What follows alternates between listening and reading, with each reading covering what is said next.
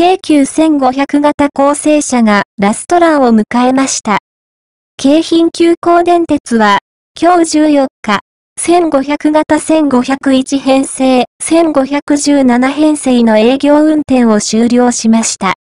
京急1500型は、老朽化した1000型の置き換えを目的に、1981年4月にデビューしました。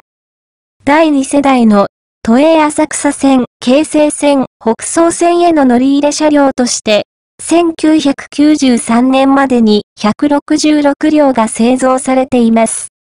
製造された166両のうち、1985年、1986年製造の20両は、普通構成、1988年以降製造の146両はアルミ合金製車体を採用しています。かつて、1500型の構成車は、1501編成、1505編成、1509編成、1513編成、1517編成の前後編成が在籍していました。制御方式は開示直波制御となっています。しかし、新型車両、1000型1890番台の導入により置き換えが始まりました。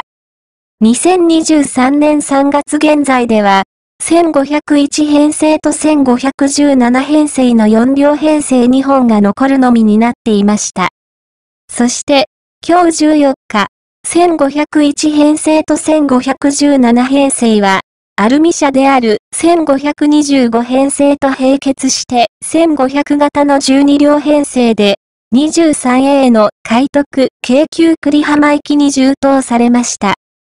1501編成と1517編成にとって最後の営業運転となります。1501編成と1517編成の運用離脱により、京急1500型から構成車が全廃となり、4両編成は、あと2編成を残すのみとなりました。そして、京急電鉄の営業車全編成が、時速 120km に対応したこととなります。